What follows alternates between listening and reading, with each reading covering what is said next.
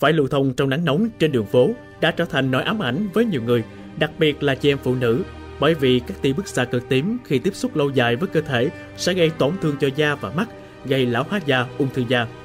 Do vậy, cách đối phó hiệu quả nhất chính là chị em phụ nữ sử dụng các thiết bị chống nắng. Tuy mới chỉ xuất hiện vài năm trở lại đây, nhưng có thể thấy sức hút mạnh mẽ từ các vật dụng che chắn chống nắng hiện nay.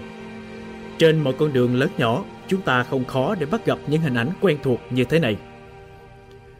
Rất nhiều chị em phụ nữ mặc áo chống nắng, váy chống nắng, nón chống nắng, găng tay chống nắng. Và không chỉ có các cô gái mà cả các chàng trai, em bé và người lớn tuổi cũng sử dụng đồ tránh nắng như thế này. Trở thành trào lưu thời trang giao thông rất thịnh hành hiện nay. Thì à, mình hay đi ra đường thì à, thấy những à, bạn nữ không phải những bạn nữ đâu mà là tất cả uh, lớn có bé có đều sử dụng áo chống nắng và những cái thiết bị che chắn uh, khi đi ra đường. Dạ cũng có nhưng mà cũng ít khi sử dụng lắm vậy dạ khi đi ra ngoài đường lúc trời nắng thì sử dụng. Dạ à, cũng thường thấy à.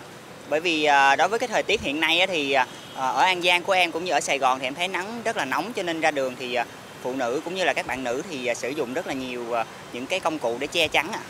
Cái đó đôi khi cũng có thì mình cảm thấy mặc nhiều quá xong như, như không thấy nóng hay sao á. Với lại nhiều lúc mình gặp người quen mình cũng không nhận ra nữa. Trước nhu cầu sử dụng váy, áo chống nắng bùng nổ như hiện nay, các nhà sản xuất không ngừng đưa ra các sản phẩm mới, giá thành rẻ phù hợp cho nhiều đối tượng tiêu dùng để vừa chống nắng vừa đảm bảo thời trang. Do đó, váy áo chống nắng được bán ở nhiều cửa hàng ven đường. Tiện lợi thấy rõ, nhưng điểm chung của các loại áo váy chống nắng lại khá to, dài, có nhiều chi tiết đi kèm như mũ trùm đầu, khẩu trang, che kín cả tay và chân. Dù thoạt nhìn có thể thấy việc di chuyển rất bình thường, nhưng luôn tiềm ẩn nguy cơ gây tai nạn mà chính người điều khiển xe khó có thể lường trước được. Mũ trùm kính đầu giảm sự linh hoạt và tầm nhìn khi tham gia giao thông váy áo loa xoa trong một số tình huống đột ngột bất ngờ có thể vướng vào chân dẫn đến mất kiểm soát khi điều khiển xe. Váy chống nắng dài phủ xuống bánh xe, bày lất phất ngay sát bánh xe vô cùng nguy hiểm. À, thì để bảo vệ mình bảo vệ làn da của mình đó chị. À, còn một số cái thì em thấy người ta mang nhiều á thì nó cũng có cái lợi cũng có cái hại của nó. À, cái lợi ở đây á là giúp cho mình à, che được cái phần dưới còn cái hại của nó là nó rườm rà quá.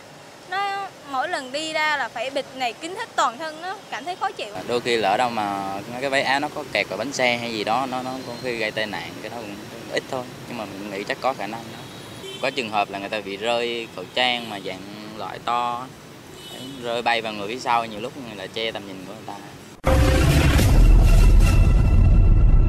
À, phụ nữ có thể thay vì mà sử dụng những cái váy chống nắng em thấy nó hơi rườm rà thì mình có thể sử dụng ờ, quần dài quần mà có thể phủ được chân.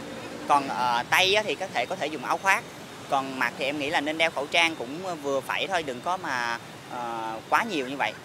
Theo mình nghĩ các bạn nữ thì à, nếu mà muốn mà đỡ lượng thượm đỡ vất vả hơn á thì tốt nhất đi ra đường bằng quần dài. Đó và áo tay dài là khỏi cần bận áo chống nắng vào cảm thấy hơi bị lố vậy thôi đối với em á, thì là cái đó nó hoàn toàn bình thường.